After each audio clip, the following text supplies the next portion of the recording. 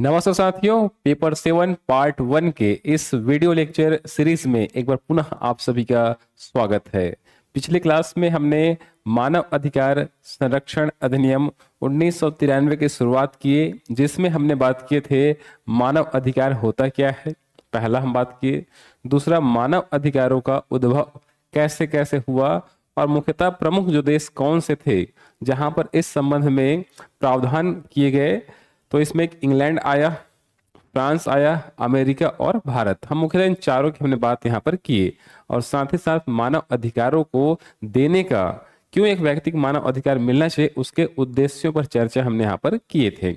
आज जो हम बात कर रहे हैं, यह मानव अधिकार संरक्षण अधिनियम उन्नीस सौ तिरानवे के सीधे सीधे हम इस अधिनियम के उन दो बड़े संगठनों पर चर्चा करेंगे, जो है पहला नंबर वन पर है राष्ट्रीय मानव अधिकार आयोग। और दूसरा है राज्य मानव अधिकार आयोग, जो सारे राज्यों में अपने राज्य स्तर पर काम करते हैं और पूरे देश के स्तर पर काम करता है राष्ट्रीय मानव अधिकार आयोग। तो इन दोनों ही आयोगों को हम एक ही चार्ट में तुलनात्मक अध्ययन यहाँ पर करेंगे। तो आप अगर नोट्स बना रहे होंगे तो आप इसको तीन भाग मार दीजिएगा। पहला जो भाग वो रहेगा आधार। जिन आधारों पर हमको आधार, जिन आधारों पर हम अंतर करेंगे, दूसरा आप रखेंगे राष्ट्रीय मानव अधिकार आयोग को। राष्ट्रीय मानव अधिकार आयोग। अधिकार आयोग। ठीक है? फिर तीसरा जो कॉलम रहेगा उसमें आप बनाएँगे राज्य। राज्य मानव अधिकार, ये मानव अधिकार कह सकते हैं, आयोग। मानव अधिकार आयोग। तो ये हमने तीन तरह के कॉलम यहाँ पर बनाए हैं। तो यहाँ पर आपको ध्यान रखना है, आधार का मतलब होता है जिन आधारों पर हम क्या करेंगे? अंतर यहाँ पर करेंगे। जिनके आधारों पर ये दोनों में क्या अंतर है, इसको हम यहाँ पर देखेंगे। तो सबसे पहले हम बात करते हैं आधार नंबर वन। तो पहला हम बात करें कि इसका गठन राष्ट्रीय मानव अधिकार आयोग का हम बात करें गठन। गठन देखते हैं। पहला आधार क्या है? गठन। गठन के संबंध में प्रावधान कहाँ पर किया गया है? किसमें? राष्ट्रीय मानव अधिकार आयोग, राष्ट्रीय मानव अधिकार अधिनियम उन्नीस सौ तिरानवे। ठीक है, किसमें बात करें राष्ट्रीय मानव अधिकार संरक्षण, मानव अधिकार संरक्षण अधिनियम उन्नीस सौ तिरानवे। ठीक है, ये प्रावधान कहाँ से लिया जा रहा है? तो जो हमारा अधिनियम है, कौन सा अधिनियम है? मानव अधिकार, ह्यूमन राइट प्रोटेक्शन एक्ट। तो ह्यूमन राइट प्रोटेक्शन एक्ट उन्नीस सौ तिरानवे, नाइनटीन को हम आधार लेके ना किसमें, जो हमारा सिलेबस में अधिनियम शामिल किया गया, उस सिलेबस के अधिनियम से हम इससे क्या है, तथ्यों को यहाँ पर ले रहे हैं। तो पहला तथ्य क्या है, गठन। तो आप गठन कह रहे हैं मतलब राष्ट्रीय मानव अधिकार आयोग गठन। इस अधिनियम के कौन से धारक अंतर्गत होगा तो इसका आंसर है धारा नंबर तीन में। इसमें धारा तीन में। और राज्य मानव अधिकार आयोग का गठन होगा धारा नंबर 21 में। क्लियर है? तो पहला आधार क्या हम ले चल रहे हैं? गठन का प्रावधान। इस आयोग के गठन का प्रावधान कहाँ पर किया गया है? तो गठन का प्रावधान है धारा नंबर तीन में के राष्ट्रीय और स्टेट जो है, जितने राज्य हैं, उन राज्यों में राज्य मानव अधिकार आयोग गठन के प्रावधान कौन से धारा में किया गया है? इक्कीस नंबर का धारा है जहाँ पर इसका वर्णन किया गया है। अब दूसरा सवाल आता है किन के द्वारा? किन के द्वारा? ठीक है। और इसका माध्यम क्या होगा? माध्यम तरीका क्या होगा? पद्धति क्या होगा? तो यहाँ पर ध्यान रखेंगे, राष्ट्रीय मानव अधिकार आयोग जो है, यहाँ पर केंद्र सरकार द्वारा। केंद्र सरकार द्वारा इसका स्टेब्लिशमेंट होगा। यहाँ पर राज्य सरकार द्वारा, राज्य सरकार के द्वारा फिर हम बात करते हैं यहाँ पर, तरीका क्या होगा? तो बकायदा इसके लिए केंद्र सरकार क्या जारी करेगा? अधिसूचना जारी करेगा। अधिसूचना जारी करके। और सेम यहाँ पर भी आएगा, अधिसूचना जारी करके। कौन? State government. अधिसूचना जारी करके। ठीक है? तो पहला गठन हो गया, दूसरा किनके किसके द्वारा गठन किया जाएगा? केंद्र सरकार द्वारा गठन किया जाएगा। तीसरा माध्यम क्या होगा? अधिसूचना जारी करके इसका स्टेब्लिशमेंट किया जाएगा जो है। ठीक है, यहाँ तक देख लिए। फिर आता है इसका हेडक्वार्टर मुख्यालय कहाँ पर? मुख्यालय कहाँ पर होगा हेडक्वार्टर तो देश की राजधानी यानी कि नई दिल्ली में। नई दिल्ली में। फिर नई दिल्ली के बाद आते हैं यहाँ पर। यह होगा राज्य की राजधानी में। राज्य के राजधानी में ठीक है, मुख्यतः इनका हेडक्वार्टर हमको देखने को यहाँ पर मिलता है। फिर इसका हम बात करें सेक्रेटरी कौन होगा? सचिव की हम बात करते हैं। सेक्रेटरी तो यहाँ पर राष्ट्रीय मानव अधिकार की हम बात करें तो यहाँ पर होता है महासचिव जनरल सेक्रेटरी महासचिव होता है जो राष्ट्रीय मानव अधिकार आयोग के मुख्य कार्यपालन अधिकारी का रोल प्ले करता है। कौन सा? भूमिका निर्वहन करता है यहाँ हम ले सकते हैं मुख्य चीफ एग्जीक्यूटिव ऑफिसर सीईओ के रूप में काम करेगा। अब यहाँ पर होता है सचिव। सेक्रेटरी होता है जो राज्य मानव अधिकार आयोग का सीईओ के रूप में सीईओ के रूप में कार्य करता है। ठीक? तो ये हम बेसिक बातें किए अब आते हैं जो बहुत महत्वपूर्ण है वो है कि इसके सदस्य कौन होते हैं? यानी कि राज, राष्ट्रीय मानव अधिकार आयोग की संरचना क्या होगा स्ट्रक्चर क्या होगा? नेक्स्ट आ रहा है। सदस्य। तो यहाँ ज़्यादा बेहतर तरीका होगा, आप इसे संरचना कहिए। क्या कहेंगे? संरचना। संरचना।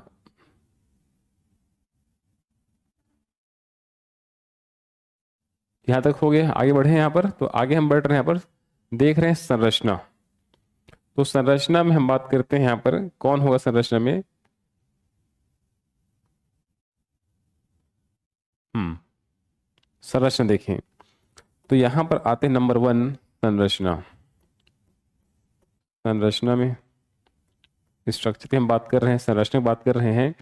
तो सबसे पहले आपको ध्यान रखना है यहाँ पर कि इसमें राष्ट्रीय मानव अधिकार आयोग में एक अध्यक्ष होगा और पाँच सदस्य होंगे। पाँच सदस्य, एक अध्यक्ष और पाँच सदस्य होंगे। ठीक है? इसमें हम बात करते हैं, एक अध्यक्ष होगा और दो सदस्य होगा। दो सदस्य होगा। अब यहाँ पर हम बात करते हैं कि इसमें कौन क्या क्या पद निर्वहन करता है क्या क्या पद निर्वहन करेगा। तो यहाँ पर आएँगे नंबर वन। यहाँ हम देखें कौन क्या क्या पद निर्वहन तो एक होगा कौन? मुख्य न्यायाधीश मतलब एक अध्यक्ष होगा। अध्यक्ष। अध्यक्ष कौन होगा? तो देखो इसमें सुप्रीम कोर्ट के, ऐसे मतलब सुप्रीम कोर्ट के, ठीक है कौन? पूर्व न्यायाधीश, पूर्व मुख्य न्यायाधीश, सुप्रीम कोर्ट के पूर्व पूर्व मुख्य न्यायाधीश न्यायाधीश, या अन्य या अन्य, या कोई अन्य, या अन्य न्यायाधीश न्यायाधीश। 2019 के पहले 2019 के पहले केवल और केवल जो है, सुप्रीम कोर्ट के जो पूर्व मुख्य न्यायाधीश होता था, वही इस आयोग के अध्यक्ष बनता था। लेकिन 2019 में इस अधिनियम में संशोधन किया गया है, जिसके अंतर्गत अब सुप्रीम कोर्ट के मुख्य न्यायाधीश अगर वहाँ पर उपलब्ध नहीं है तो मुख्य सुप्रीम कोर्ट के किसी दूसरे न्यायाधीश को भी इसके अध्यक्ष बनाया जा सकता है। फिर ये तो हो गया अध्यक्ष हो अब आते हैं सदस्य में। तो सदस्य में देखिए यहाँ पर, सदस्य में, सदस्य नंबर एक। पहला अध्यक्ष हो गया पाँच में आ रहे हैं। तो सदस्य एक कौन होगा? तो भाई यहाँ पर सुप्रीम कोर्ट के, सुप्रीम कोर्ट के के के एक न्यायाधीश होगा, सुप्रीम कोर्ट के न्यायाधीश। न्यायाधीश न्यायाधीश न्यायाधीश हो या रहा हो। यानी कि अभी सुप्रीम कोर्ट क्या है? न्यायाधीश है। एट प्रेजेंट क्या काम कर रहा है या फिर पहले काम किया हो? नेक्स्ट सदस्य आ रहे हैं दूसरा। दूसरा सदस्य आ रहे हैं कौन? तो यहाँ पर राज्य के राज्य के हाई कोर्ट, राज्य, किसी राज्य के हाई कोर्ट, किसका? हाई कोर्ट के, हाई कोर्ट के मुख्य न्यायाधीश मुख्य न्यायाधीश मुख्य न्यायाधीश हो। या रहा हो, या रहा हो, या रहा हो। ठीक है, यहाँ पर तो पहला दूसरा हो गया, फिर। तो ये पाँच काउंटर है, पाँच सदस्य होंगे तो पहला दूसरा हो गया, अब तीन कौन होंगे? यहाँ पे ध्यान रखना है, तीन कौन होंगे? तो तीन जो सदस्य होंगे, ध्यान रखना, जो तीन ऐसे सदस्य होंगे, जो मानव अधिकार ह्यूमन राइट मानव अधिकार, विषय के विषय के जानकार होंगे। विषय के जानकार अनुभव, जानकार या अनुभव वाले व्यक्ति होंगे। ठीक है? तो ये एक बेसिक बातें आपको ध्यान रखना है। सदस्य में पाँच, सदस्य में कौन हो गए? दो तो जज हो गए, एक सुप्रीम कोर्ट के न्यायाधीश हो गए, हो या रहा हो मतलब अभी पद में रह, अभी मतलब काम करता हो सकता है, ये पहले काम किया हो। दूसरा, राज्य के हाई कोर्ट क्या है, मुख्य न्यायाधीश हो, करेंट में या पहले रहा हो। तो ये होगा। और तीन मेंबर जो मानव अधिकार विषय क्या होंगे, जानकार होंगे, उनको यहाँ पे रखा जाएगा जो है। क्लियर है? तो ये हमने बात की यहाँ पर, सदस्यों के बारे में बात की। इन सब के अलावा, इन सब के अलावा सात अन्य विभिन्न आयोगों के पदन सदस्य इसके मेंबर होते हैं, जिनमें से एक महिला सदस्य होना अनिवार्य है। तो कौन कौन से अन्य? तो इसमें ये तो ये तो रहते रहते हैं। सात कौन होंगे? तो सात अन्य मेंबर यहाँ पर होते हैं। तो पहले इधर देख। लें पहले राज्य का देख लें। पहले राज्य में आ जाते हैं। तो राज्य स्ट्रक्चर हम देखते हैं यहाँ पर हम बात करते हैं। तो एक अनुपात दो। यहाँ पर एक अनुपात दो होंगे। तो इसका अध्यक्ष कौन होगा? अध्यक्ष। इसका अध्यक्ष होगा ध्यान रखना हाई कोर्ट के। हाई कोर्ट के मुख्य मुख्य न्यायाधीश। न्यायाधीश हो या रहा हो। यानी कि एट प्रेजेंट क्या हो सकता है? रखना। तो हाई कोर्ट के पूर्व क्या है? पूर्व मुख्य न्यायाधीश, ठीक, इसमें आपको याद रखना है जो काम का हमारी बातें हैं। तो हाई कोर्ट के पूर्व मुख्य न्यायाधीश, ठीक है, यहाँ पर एक वर्ड एड कर लेंगे। कौन सा? पूर्व। हाई कोर्ट के पूर्व, हाई कोर्ट के पूर्व पूर्व मुख्य न्यायाधीश, ठीक है, पूर्व न्यायाधीश हो या रहा हो, ठीक है। तो यहाँ पर एक वर्ड आ रहा है, इसको थोड़ा संशोधन कर लेंगे। क्या संशोधन करना है यहाँ पर? तो यहाँ पर हाई कोर्ट के पूर्व न्यायाधीश या अन्य न्यायाधीश, ठीक, ऐसा लिखना है इसको। के के, पूर्व न्यायाधीश न्यायाधीश, पूर्व न्यायाधीश या अन्य अन्य न्यायाधीश। अब ठीक है ठीक है? तो हाई कोर्ट के जो पूर्व न्यायाधीश रहा हो, या अन्य कोई न्यायाधीश है, उसको राज्य मानव अधिकार आयोग का अध्यक्ष यहाँ बनाया जाएगा। क्लियर है? तो ये हो गया, अध्यक्ष हो गए अब दो आते हैं सदस्य। तो यहाँ पे सदस्य नंबर एक। सदस्य एक कौन होगा? तो हाई कोर्ट के, हाई कोर्ट के के कोई न्यायाधीश न्यायाधीश होगा। हाई कोर्ट के कोई न्यायाधीश। तो ये जो अध्यक्ष है, उसके अलावा एक और हाई कोर्ट के कोई न्यायाधीश उसे मेंबर यहाँ बनाया जाएगा जो है, ठीक है? या फिर या फिर क्या होगा? कोई कह सकते हैं अधिवक्ता, कोई न्यायाधीश है जो कहाँ पर आपके जिला कोर्ट में काम किया है, कितने साल तक? सात वर्षों तक काम करने उसको अनुभव है। कहाँ पर?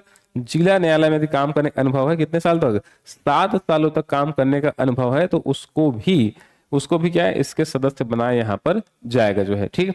तो यहाँ पर ध्यान रखना है तो हाई कोर्ट के कोई न्यायाधीश या क्या कहेंगे? या जिला न्यायालय के न्यायाधीश, हाई कोर्ट के कोई न्यायाधीश हो या रहा हो, ठीक है यह रहा हो, या हम कह सकते हैं यह कौन होगा?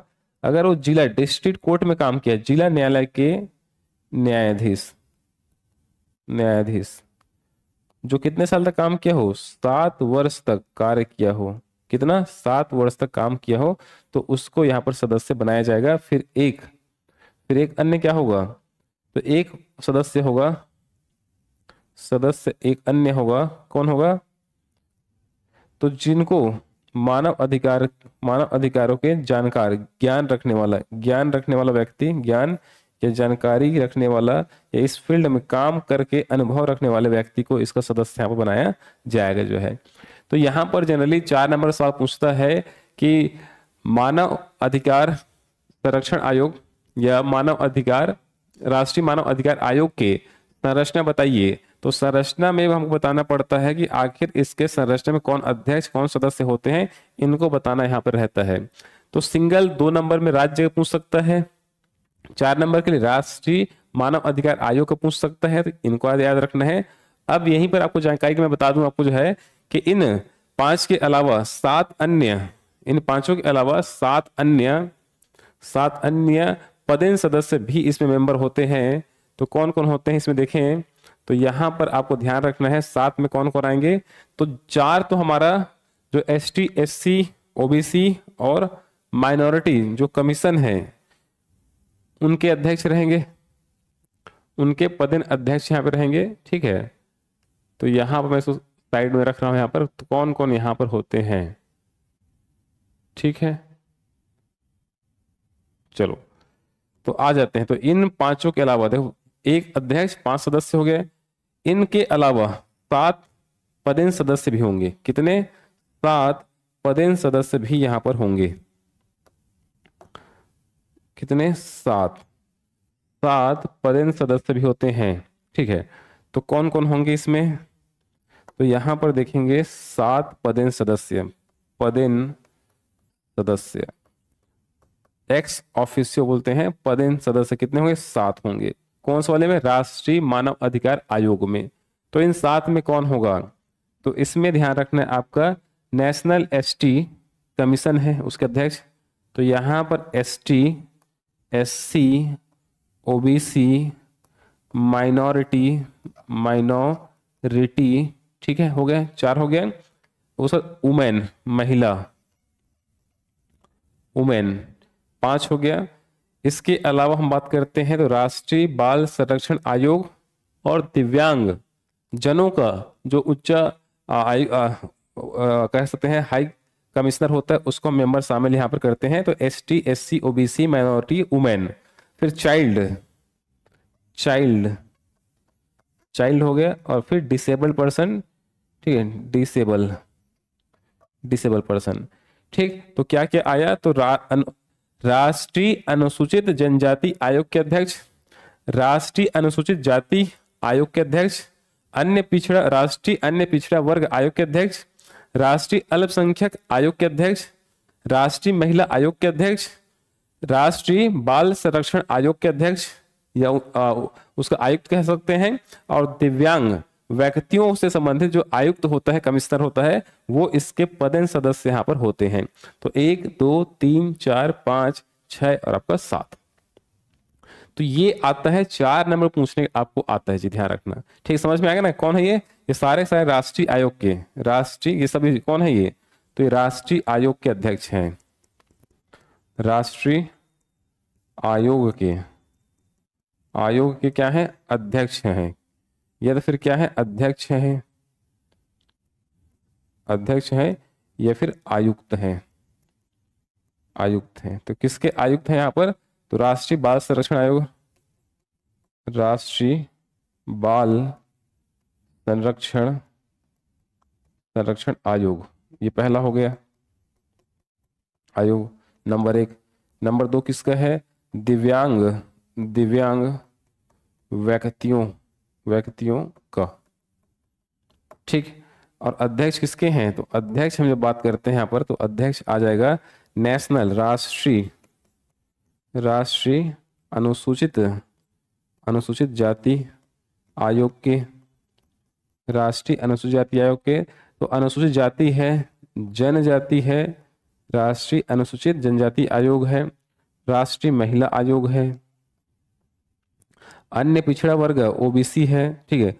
राष्ट्रीय अल्पसंख्यक आयोग है माइनॉरिटी है, ठीक? तो ये कितने हो गए? तो one two three four five तो पाँच ये हो गया और दो यहाँ पर हो गए। टोटल कितने हो गए? सात. तो सात क्या होते हैं? पदेन सदस्य यहाँ मेंबर यहाँ पर होते हैं। अब यही सब पूछता है राष्ट्रीय मानव अधिकार आयोग की संरचना बताइए। तो ये आपको बताना यहाँ पर रहता है। अब अब नेक्स्ट आते हैं इन आयोगों के, इन आयोगों के अध्यक्ष और सदस्यों की नियुक्ति कौन करता है यहाँ पर? तो इन आयोगों के अध्यक्ष और सदस्यों की नियुक्ति करता है कौन? तो नियुक्ति नेक्स्ट आ रहे हैं भाई, यहाँ पर देखते हैं नियुक्ति। नियुक्ति कौन करता है? तो राष्ट्रपति। ठीक, नियुक्ति कौन करेगा? तो पहले वाले में कौन करता है? राष्ट्रपति करेगा। पहले वाले में कौन करेगा? राष्ट्रपति करेगा। ठीक है, प्रेसिडेंट द्वारा, राष्ट्रपति के द्वारा। ठीक है? और दूसरे वाले में कौन करेगा? गवर्नर करेगा। कौन? राज्यपाल करेगा। राज्यपाल द्वारा। तो क्या राष्ट्रपति राज्यपाल खुद से कर देंगे? नहीं। तो इनके द्वारा ध्यान रखना, यहाँ पर राज्य केंद्र सरकार, यहाँ पर केंद्र सरकार द्वारा, केंद्र सरकार द्वारा एक चयन समिति का निर्माण किया जाएगा। ठीक, इसका अध्यक्ष और सदस्यों के लिए एक चयन समिति निर्माण किया जाता है और उस चयन समिति के द्वारा जिनका नाम जो है सजेस्ट किया जाएगा, जिनका नाम को निर्देशित किया जाएगा, उन्हीं को अध्यक्ष और सदस्य के रूप में राष्ट्रपति उनको नियुक्त यहाँ पर करता है। ठीक? तो ध्यान रखना। तो यहाँ पर नियुक्ति के द्वारा? राष्ट्रपति द्वारा और यहाँ पर राज्यपाल द्वारा। पहला हो गया। दूसरा, नियुक्ति हमने देख लिया नियुक्ति के बाद दूसरा को देखना है। नियुक्ति का तरीका क्या होगा? तरीका क्या होगा? तो तरीका होगा जी इसके लिए चयन समिति। क्या बनेगा? चयन समिति।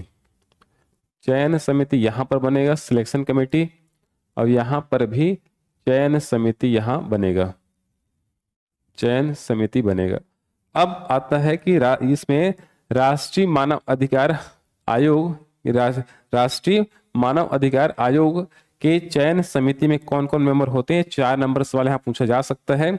तो इसमें ध्यान रखना है, पहले होता है पीएम। कौन होगा? यहाँ पर यहाँ पर होता है जी, ध्यान रखना, पीएम होता है अध्यक्ष।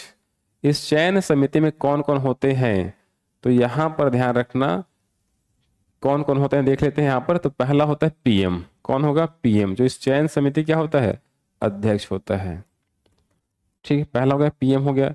दूसरा होता है होम मिनिस्टर। कौन होगा? होम मिनिस्टर होगा, गृह मंत्री होगा। ठीक है? ये सेकंड हो गया। फिर देखो, लोकसभा लोकसभा अध्यक्ष, लोकसभा का स्पीकर होगा। अध्यक्ष होता है। लोकसभा में लोकसभा में अपोजिशन का अपोजिशन का जो लीडर होता है, विपक्ष का नेता होता है, वो भी रहेगा। फिर राज्यसभा का, ठीक है? राज्यसभा का उप सभापति होता है, ठीक है? उप सभापति होगा, ठीक है? उप सभापति होता है, प्लस राज्यसभा में, राज्यसभा का विपक्ष का अपोजिशन लीडर होता है, ठीक है? तो यहाँ पर आना है आपको पहले चयन समिति में कितने मेंबर? तो दो यहाँ पर हो गया, दो चार हो गया, पाँच हो गया, छह। छह लोग यहाँ पर चयन समिति मेंबर यहाँ पर होते हैं। अब ये लोग क्या करते हैं? यही लोग जो है अध्यक्ष और सदस्यों के, किनको बनाया जा सकता है, इनके बारे में अपना सिफारिश यहाँ पर करते हैं। तो अध्यक्ष हो गया, लोकसभा अध्यक्ष हो गया, लोकसभा विपक्ष का नेता हो गया, राज्यसभा का उपसभापति और राज्यसभा विपक्ष का नेता और गृह मंत्रालय का मानी गृह मंत्री भी इसका मेंबर यहाँ पर होता है। ठीक है? फिर हम बात करते हैं, यहाँ हम बात करते हैं सेम आ जाइए तो राज्य के चयन समिति में कौन कौन होते हैं? तो सेम आप रख सकते हैं यहाँ पर। कौन होगा पहला? तो इस चयन समिति पहले क्या होगा? एक अद... यहाँ पर मुख्यमंत्री, सीएम क्या होगा? सीएम जो है इसका अध्यक्ष होगा। सीएम क्या होगा? अध्यक्ष होगा। सीएम का कौन होगा? तो यहाँ राज्य क्या होगा? होम मिनिस्टर, गृह मंत्री होगा, फिर विधानसभा का। कौन सा? विधान सभा का। विधान सभा यानी कि जन, यहाँ सकते हैं लेजिस्ले कह सकते हैं आपका लेजिस्लेटिव असेंबली लेजिस्लेटिव असेंबली का क्या होगा? इसका अध्यक्ष होगा मेंबर अध्यक्ष होगा। लेजिस्लेटिव असेंबली ने विधानसभा का, ठीक है, विधानसभा में विधानसभा में विपक्ष का नेता होगा। विपक्ष का नेता इसमें होगा।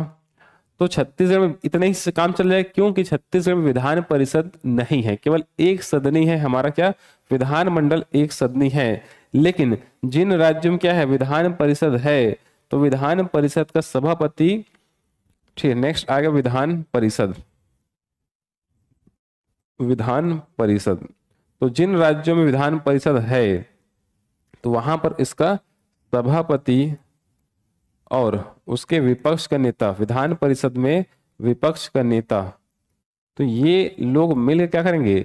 ये लोग मिलकर जो है, अध्यक्ष और सदस्य किसको बनाना चाहिए, इनके बारे में नाम निर्देशित करते हैं राष्ट्रपति को राष्ट्रपति जो है फिर अध्यक्ष और सदस्यों नियुक्ति यहाँ पे करेगा। और यहाँ पर राज्यपाल जो है, इनके सिफारिशों के आधार पर अध्यक्ष और सदस्यों की नियुक्ति यहाँ पर करता है।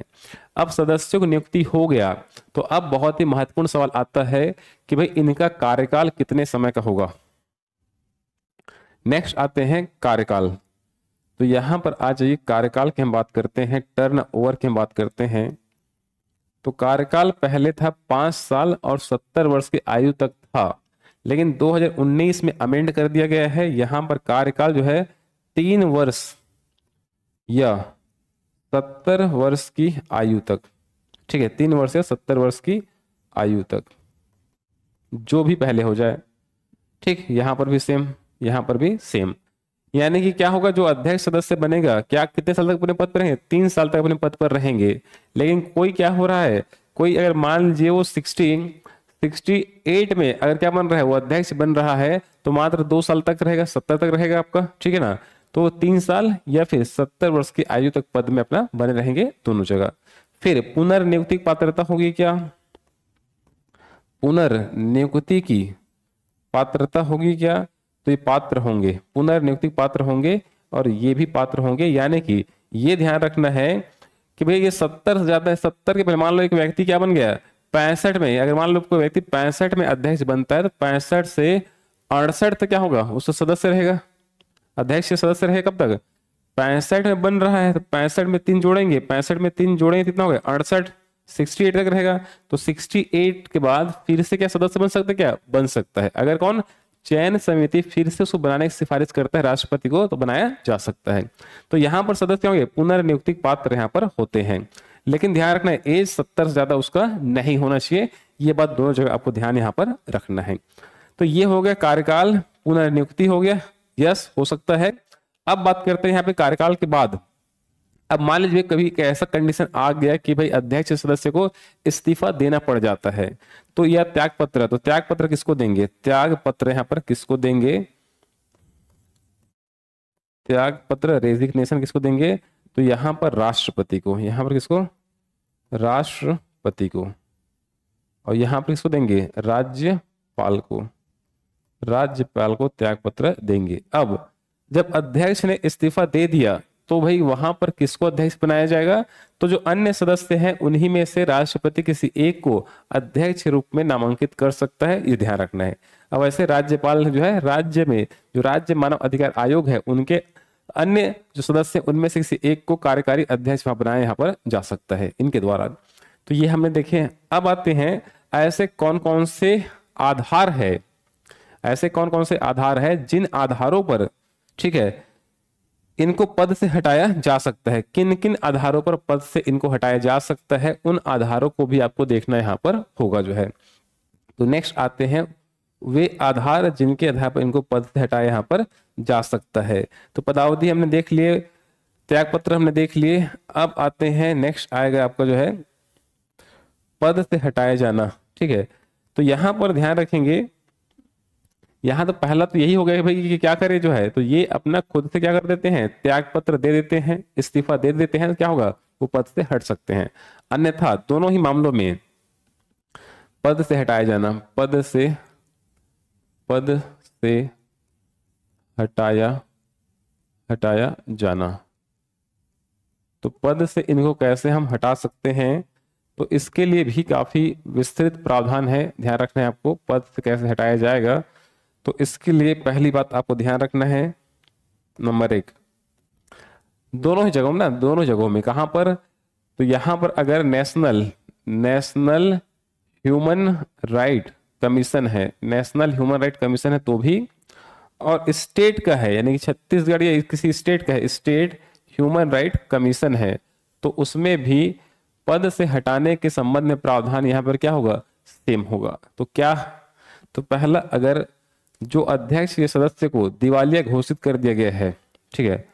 अगर अध्यक्ष या सदस्य को दिवालिया घोषित कर दिया गया है विलफुल डिफॉल्टर घोषित कर दिया गया है किसी न्यायिक निर्णय में, किसी कोर्ट ने तो उसको उस आधार पद से हटाया जा सकता है। दूसरा ध्यान रखना, अभी राष्ट्रीय मानव अधिकार आयोग क्या है? वो अध्यक्ष है नेशनल लेवल पर या स्टेट लेवल पर है। इसमें अध्यक्ष या सदस्य पद में रहने के दौरान किसी अन्य लाभ के पद को धारण करता है? किसी किसी अन्य किसी अन्य लाभ के लाभ के पद को पद को धारण करता है, धारण करता है तो उस आधार पर हटाया जा सकता है। नेक्स्ट तीसरा, शारीरिक शैथिल्य शारीरिक शैथिल्य आ गई है। शैथिल्य आ गई है। यानी कि शारीरिक रूप से क्या है? कमज़ोर हो गया है। तो उस आधार पर क्या है? उस आधार पर भी उसको पद से हटाए यहाँ पर जा सकता है। ठीक है?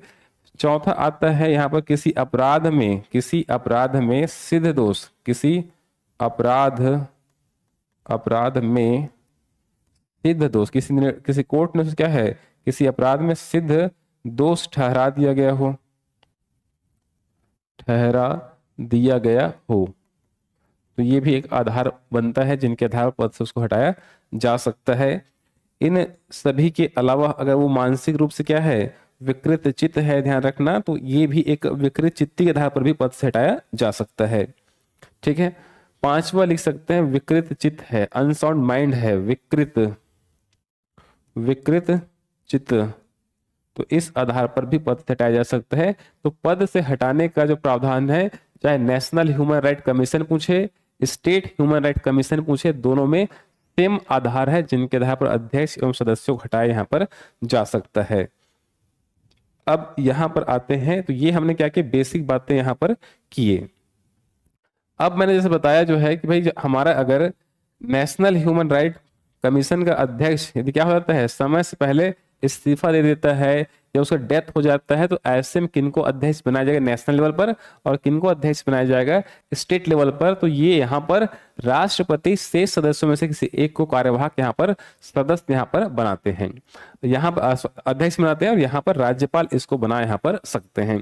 तो देखो, एक चार्ट में हमने बहुत सारे सवाल का आंसर हम बना सकते हैं एक ही चार्ट में। तो एक सवाल पूछता है, राष्ट्रीय मानव अधिकार आयोग के बारे में संक्षिप्त राष्ट्रीय मानव अधिकार आयोग के बारे में संक्षिप्त जानकारी दीजिए नोट लिखिए, टिप्पणी कीजिए तो आप इन सारे प्रावधानों को आप जो है लाइन टू लाइन क्या कर बता सकते हैं, चाहे नेशनल का पूछे, चाहे स्टेट का पूछे।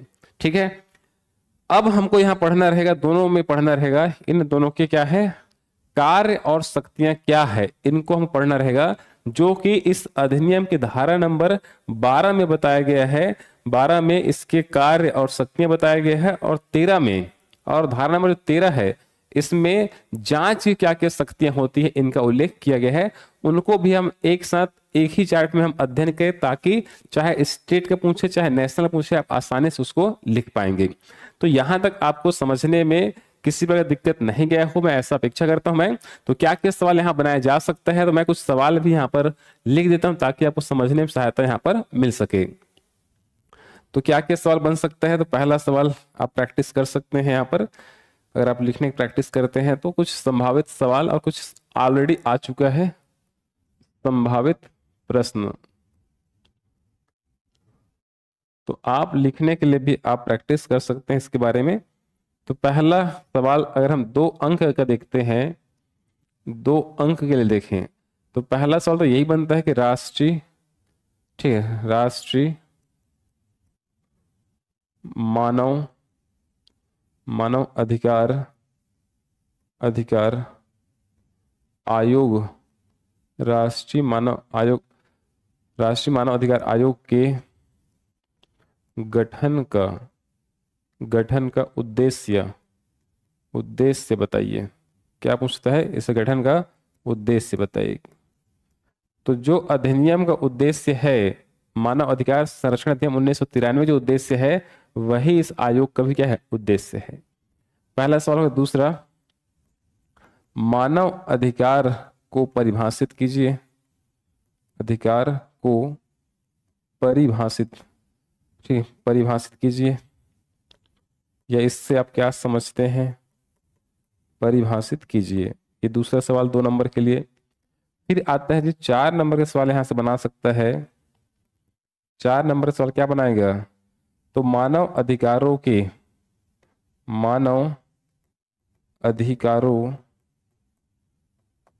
के उद्भव एवं विकास के बारे में बारे में में संक्षिप्त संक्षिप्त टिप्पणी टिप्पणी कीजिए या नोट दीजिए, टिप्पणी या नोट नोट दीजिए। तो ये पूछता है चार नंबर में। फिर हम थोड़ा आगे चले जाते हैं, आठ नंबर के लिए चले, या पंद्रह नंबर से हम सवाल बनाए तो चार नंबर का हो गया। फिर सवाल आता है, आठ नंबर का सवाल आता है, आठ अंक में यहाँ से बन सकता है, वो रहेगा राष्ट्रीय राष्ट्रीय मानव अधिकार मानव अधिकार अधिकार आयोग आयोग आयोग पर पर संक्षिप्त संक्षिप्त संक्षिप्त टिप्पणी कीजिए। ठीक, टिप्पणी कीजिए। तो जब भी टिप्पणी कीजिए, पूछता है, या मानव अधिकार आयोग के संरचना के बारे में बताइए, यानी सदस्यों के बारे में बताइए तो ये आपका आठ नंबर सवाल यहाँ पर बन जाता है। ठीक तो ये रहेगा। फिर आगे दस का तो सवाल यहाँ से नहीं आता है, सीधा पंद्रह नंबर का, पंद्रह अंक का सवाल आता है कि मानव अधिकार आयोग के सवाल क्या रहेगा? सवाल रहेगा, मानव अधिकार आयोग के संरचना बताते हुए स्ट्रक्चर संरचना बताते हुए बताते हुए इसके इसके कार्यों को, कार्य एवं शक्तियों को को बतलाइए। तो ये सवाल बन जाता है आपका पंद्रह नंबर के लिए। तो इनको अगर आप चाहें लिख कर प्रैक्टिस भी यहाँ पर कर सकते हैं, ताकि आपको लिखने का जो स्किल है, वो भी ग्रो हो क्या क्या आपको बेसिक दिक्कतें आ रही है, इनके बारे में भी आप लिख के प्रैक्टिस करेंगे, तभी आपको समझ में यहाँ पर आएगा जो है। तो आज हमने यहाँ तक देखिए, दो हमने संगठन की बात किए राष्ट्रीय मानव अधिकार आयोग और राज्य मानव अधिकार के बारे में हम बात किए। कल हम बात करेंगे, अगला जो लेक्चर हो उसमें बात करेंगे आखिर राष्ट्रीय मानव अधिकार आयोग के कार्य और शक्तियाँ क्या है, जो धारा नंबर बारह बताता है, और धारा तेरह में जाँच की क्या शक्तियाँ हैं, इन दोनों को हम चर्चा में शामिल यहाँ पर करेंगे। तो मिलते हैं नेक्स्ट वीडियो में, तब तक के लिए बहुत बहुत धन्यवाद।